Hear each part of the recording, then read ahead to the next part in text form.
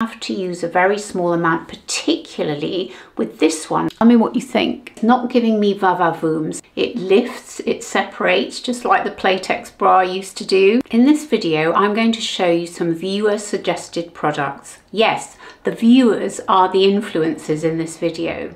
Welcome to my channel Beauty by Dez where I help women touching 70 with their beauty, fashion and lifestyle dilemmas. All the products that I talk about will be listed and linked below and I will also pin them to the comments so you'll be able to see them at a glance. Now, what dilemma are we facing today? To buy or not to buy, or to try or not to try. I've never done this type of video before and I'm really looking forward to sharing with you the products that my lovely, fantastic, beautiful, gorgeous viewers have suggested to me. And there will be two or three products at the end that are new to me that I wanted to share with you as well. So without further ado, let's crack on. So the first product that was viewer suggested is this Merit Facial Oil. This is it here. Now it's actually called Merit Facial Oil Great Skin Instant Glow Serum. Now the viewer who suggested this said that it worked really well under the Merit complexion stick and I had done a video on three Merit products that I bought a few weeks ago which I'll also link down below for you and I can see why she suggested it because Merit, of course, do suggest it themselves, and it's a nice hydrating product to put under the stick because, of course, the stick is, is not liquid, it's not runny. And so you can see why the theory of putting an oil or a water based product underneath it would help the stick to go on more smooth. Although I have to say that the stick does work very well without using the facial oil. Anyway, this is a cruelty-free, vegan and clean brand. If you don't know Merit, they're based in the States. They've recently started shipping to the UK and I must say their shipping is extremely good. They're very quick, probably only takes about four or five days. The cost of shipping is an issue, but it's not hugely expensive. And I suppose if you were thinking you were going to drive somewhere to buy it, then it probably would be quite expensive, particularly here in the UK where petrol is very expensive. Caroline Barnes also recommended this a few weeks ago. I was a little bit nervous because when it says it's an oil, that's actually a misnomer, but I was worried about using an oil because my skin doesn't really appreciate too much emollient products because it produces enough oil. It's not dry. I mean, I do have a few dry patches around here, but nothing really to speak of. And if I use a product that's too rich, like too rich a moisturizer, for example, and to be honest, I don't actually use a moisturizer, I only use an SPF, it, I tend to get milia and I do have a few, not many, but I have sort of one or two or three dotted around my face. So I was a little bit worried about using this, but actually it really is not an oil and that is a misnomer. It's much more water-based. So without further ado, let me show you how I applied it while I tell you a little bit more about it. So it's a weightless formula, it absorbs quickly into the skin, which I would agree with, with zero residue, so it's supposed to leave it plumped, hydrated and prepped for makeup. It's designed to complement the Minimalist, which is that complexion stick I mentioned, but it can also be used with any complexion product to give the skin a healthy glow. Now this is exactly right because I have it on today and I've got the Hourglass foundation on the Skin Veil, I think it's called. But I also tried it, not just with a complexion stick, I also tried it with Wet n Wild's skin tint and it worked beautifully with that as well. So it's got four types of hyaluronic acid in it. It's got niacinamide, which helps to brighten the skin. And I think that's also true. I think it does brighten the skin and it's also got some caffeine rich cacao seed extract which is supposed to stimulate blood flow. So it costs £40 which is quite pricey, I guess that's around $50. It's a good weighty bottle, it's beautiful glass, it's really well packaged and you get about 1.7 fluid ounces or about 50 mil. Now, you do have to be really careful with this when you apply it because it has a pump but if you're not careful, a load comes out. You have to be very, very gentle with it. And let me just show you again. Let me just show you. You just have to press very gently. There we are. Now that's probably quite enough there. I think maybe I'm getting better at it, but don't sort of give it a really hard pump, otherwise it'll go everywhere because it is very watery. I'll just show you a bit on my hand. I don't know if that's showing up, but it does give a lovely glow and it doesn't smell of anything it doesn't have a fragrance No, you can't smell a thing. And it is a really pleasant product to use. Now, it's not a must have, I would say, it's a nice to have. But I would also say that if your skin is on the dry side and you don't want to use a really oily product under your makeup, then this would definitely be one for you. Now, the next two viewer suggested products are concealers. So we've got the Natasha Denona, which is the Hy Glam Concealer. And I don't think I've ever bought a Natasha Denona product before. And we also have the IT Cosmetics Bye Bye Under Eye, which I think I have bought years ago, but I'm not sure I liked it at the time, but very willing to give it another go. So you'll see on the footage, I tried them both and I gave them a wear test. So let me tell you a little bit about them. So the IT Cosmetics comes in 24 shades. It's highly pigmented and water resistant and it provides a long wearing finish. It's enriched with soothing cucumber extract, skin firming collagen and hyaluronic acid which helps to reduce the appearance of fine lines. It also promotes a youthful looking complexion. The formula delivers a full coverage to help hide dark circles and imperfections. It can also be used as a foundation, which I haven't yet tried, and it's cruelty free and vegan and it's £26, although at the moment it's on Look Fantastic in the UK for £23.40.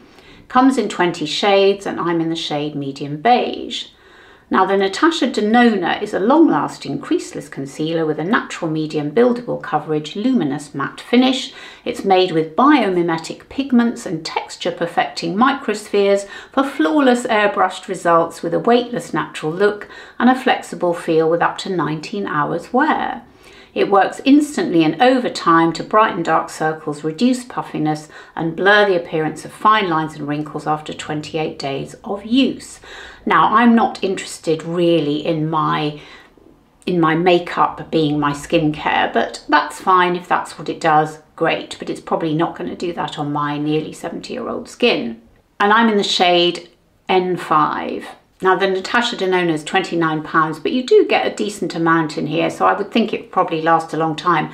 The key thing is with both of these is you have to use a very small amount, particularly with this one. I must say I'm not all that keen on the tube application idea for a concealer, but I can see how it would be really good for covering imperfections because after all, that's what the whole idea behind IT Cosmetics was, wasn't it? It was a newsreader who was on camera a lot who was finding that she couldn't find a decent makeup to cover her imperfections that didn't do harm to her skin. So I, I can see how this would be good for covering imperfections.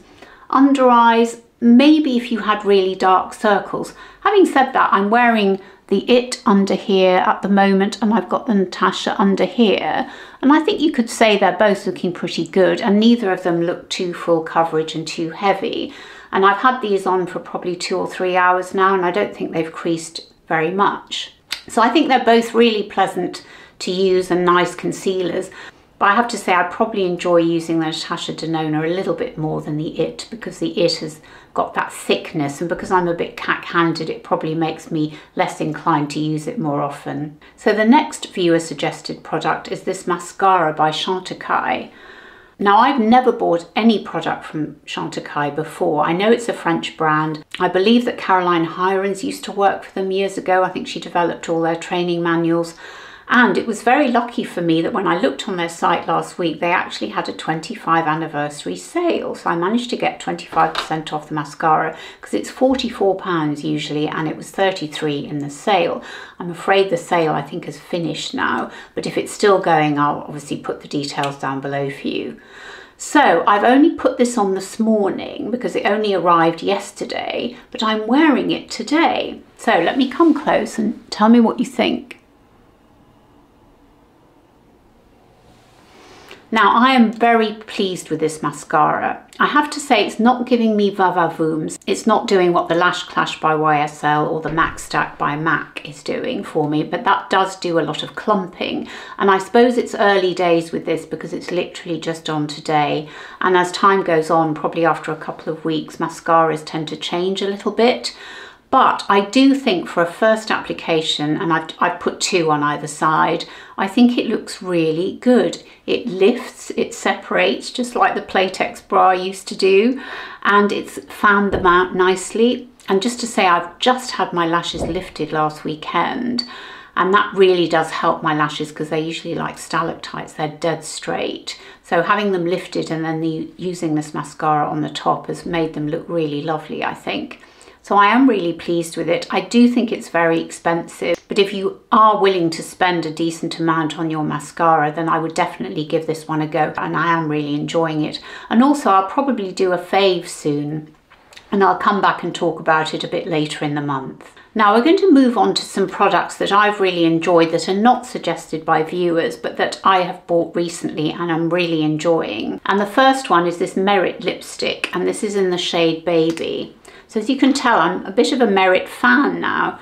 This is a beautiful shade. I will swatch it for you. It's really creamy. I've got it on at the moment. It's a great everyday shade and I have been taking it to the office and you can apply it really without a mirror because it's such a light shade. It's not likely to smear very badly. It's a really comfortable shade. It feels lovely and creamy on the lips and I absolutely love it. Now again, it's not a cheap brand. It's 28 pounds, which is probably 30 something dollars, but I do really like it. And if you're looking for a nice neutral lipstick, I mean, they have other beautiful shades as well. I think it comes in eight shades, but this is a beautiful neutral for me. And sticking with the neutral shades, I couldn't walk past a Charlotte Tilbury counter the other day, as I did in Selfridges, without having a look at her new lip blurs. And this is the one that I picked. So this, of course, is in the iconic shade Pillow Talk. It is lovely, it really is. It reminds me a lot of her Hollywood Lips line that she discontinued a few years ago. Let me just pop a bit on here. So it's a bit darker than the Merit, but it's still very, very beautiful. And you can apply it with your fingers. It does have a very slight vanilla smell, but there's actually no fragrance in it because I'm allergic to fragrance, so that wouldn't do at all. And let me put a bit on my lips. I'm just going to get some on my finger and I'm going to show you how I can blur it. Let me just pop a bit on.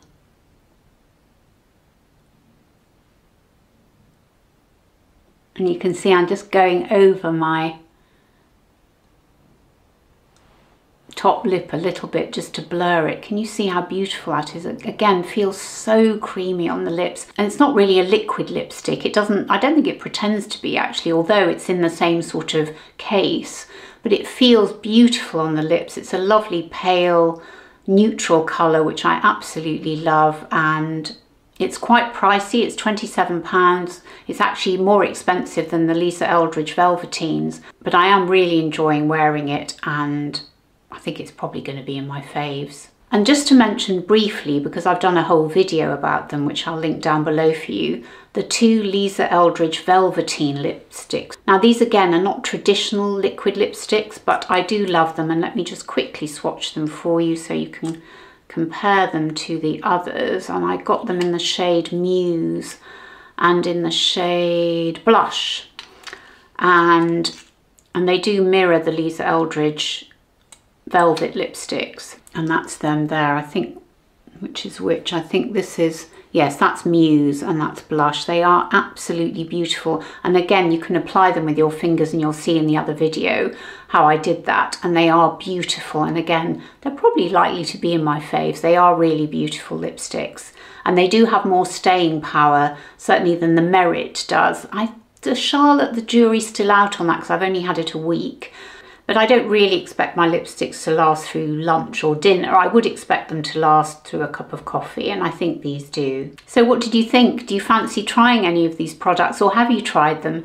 Let me know in the comments because this is what it's all about. This is so fantastic that these viewers have suggested these products to me and that I've tried them. I really love that. I love having a discussion in the comments about what products work for you and what don't. And actually there was another product that the same viewer who suggested the two concealers also suggested something by Colleen Rothschild, but she's very difficult to get hold of in the UK, but I hope to do so in the fullness of time. And if you've enjoyed this video, I'd be so grateful if you'd give it a thumbs up and subscribe to my channel. It means so much to me. I'm not that far off 2,000 subscribers now, so if I can just get a few more, I'd be really, really delighted. So if you wouldn't mind subscribing, I'd be really delighted. And of course, it's free to do so. And talking of subscriptions, and if you can't get enough of me, and who can, then why don't you subscribe to my monthly newsletter? The August edition has just gone out, but my September edition will drop in the first week of September And in it, I don't just talk about beauty and fashion, but I also talk about movies, books,